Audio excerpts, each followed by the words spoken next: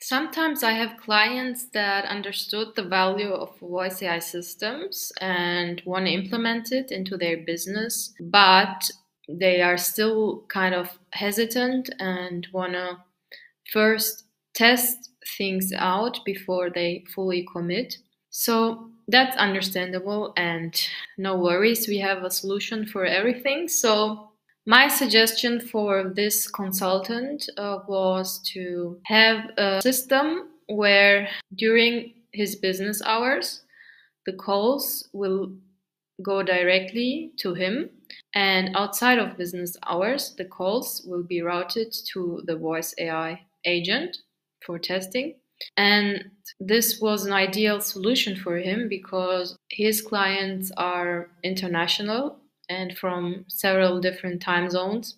So he would have a lot of missed calls. So that's why this was a perfect start for this person. And now, after we have done some testing, we are now fully integrating voice AI system so that it handles also during business hour calls.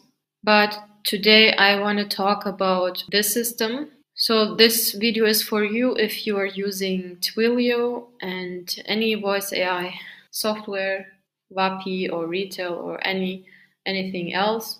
And so this consultant was using Cal.com. What this system does is these three things. So it pulls real-time availability from the consultant's Cal.com schedule. If it has overrides like holidays or special hours. This will be also considered. It also checks for any meetings scheduled at the time of an incoming call and routes it, routes calls to the voice AI agent if there if this person is in a meeting right now.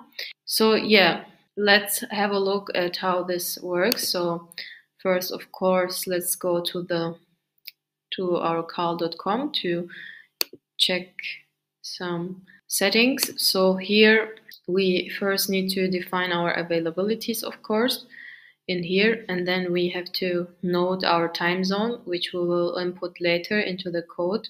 And so this section is also considered. So if this person wants to add any overrides, let's say he wants to be unavailable from here to here, mark unavailable, yeah, doing all these, let's say, and add this override, then it will also consider the overrides and will mark the person as unavailable for, for the overrides time.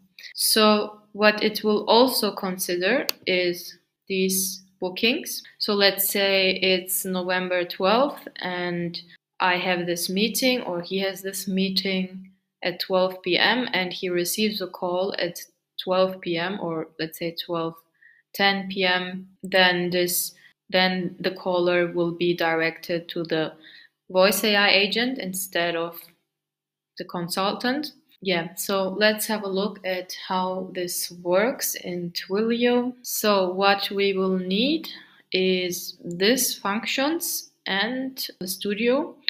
So for the function, we will, let me show you from scratch how it works.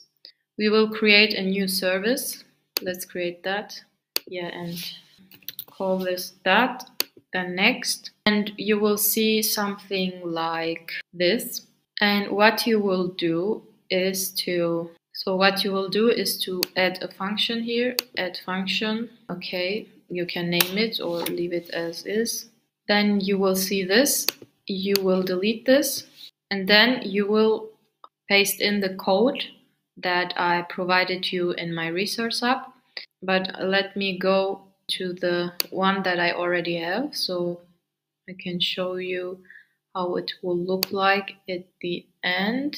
Okay, so after you have deleted the one that I showed you, then you just copy this code that you can find in my resource hub also what you need to add here is so you define your key like this. So you write here call call API key and then you paste in your API key from here sorry here.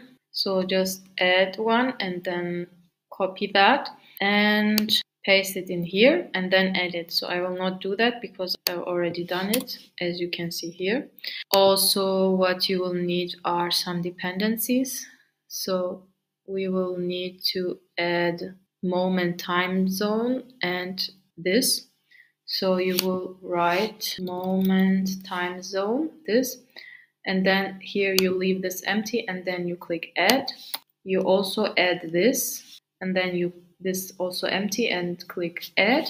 And so I want to quickly explain you how this code works and what you need to adjust according to your case. So this code uses two APIs from cal.com. Let me show you. So the first one is, so we are using the V2 um, reference and the first the first API that we are using is get all schedules. And in here we are using our authorization which is our API key. And also as you can see we need to define the the version of this API which will be this so I already have this in the code, so you don't need to change anything. But just keep in mind if things doesn't work, it could be because this API version changed. So you will probably need to adjust it if it change changes. So where is where is this? Where did, did I define that? So yeah, it's here. So if it changes in the API, just change that to here, then you will, it will work again. So what we are doing here is, yeah, just getting the schedules and this is an example of how it looks like. So we just get the availability, the available times for each day of the week and it's important to note that this is already adjusted to our time zone. So it's not in UTC time zone, it's my time zone here.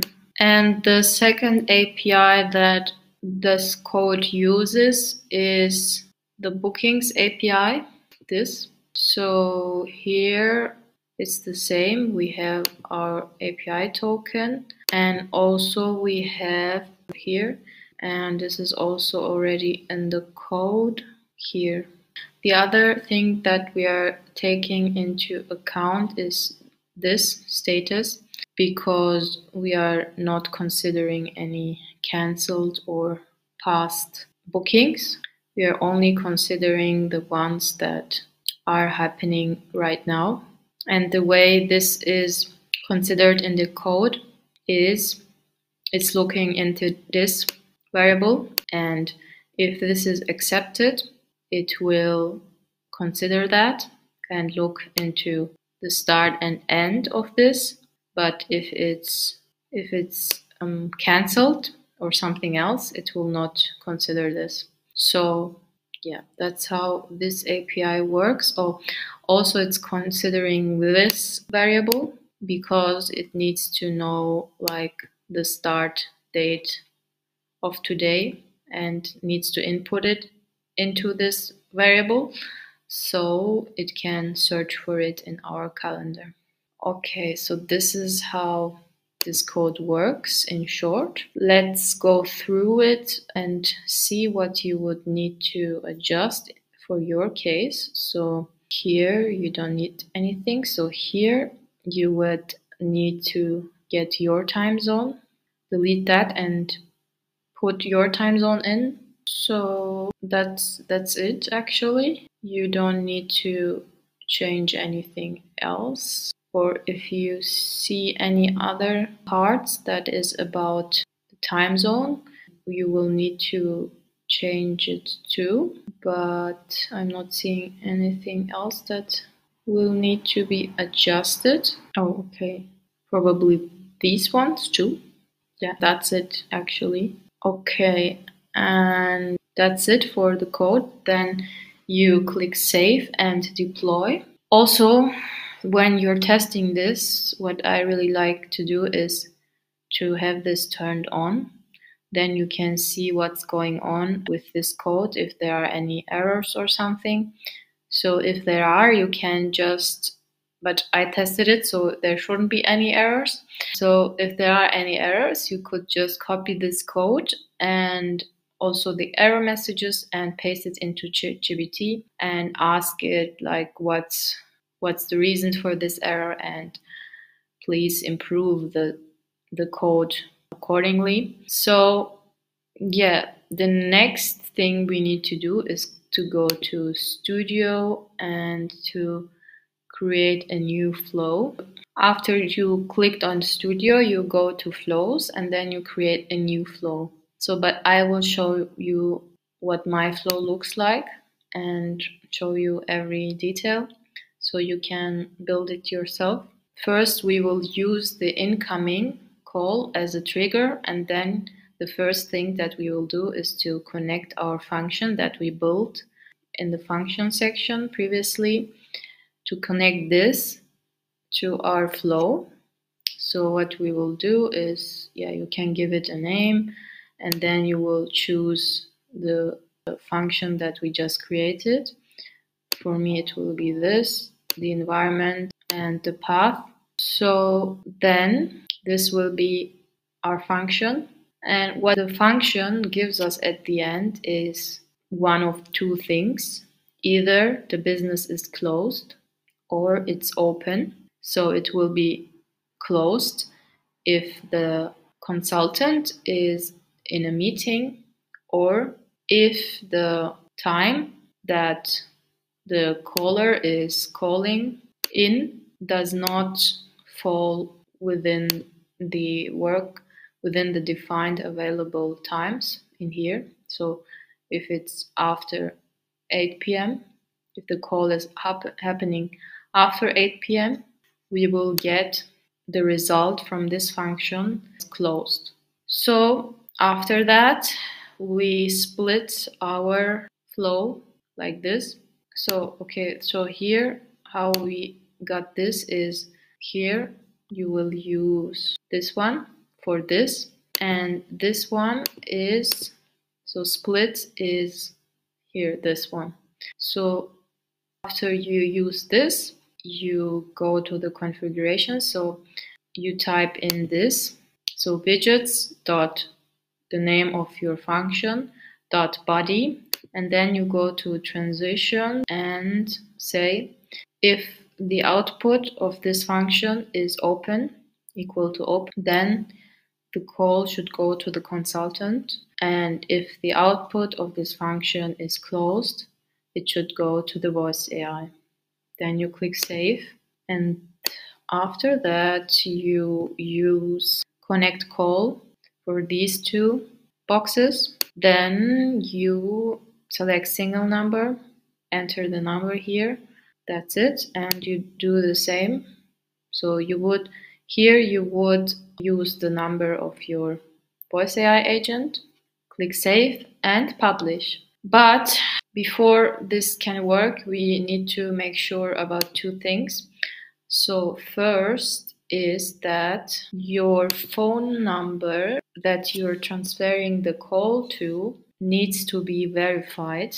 So you go here and you add a new caller ID and verify the number that you want to the call to be transferred to otherwise it will not work and the last thing that you need, to do is to go to active numbers and assign this flow to your number. So just click on the number and here you need to make sure that studio flow is selected and the right flow is selected.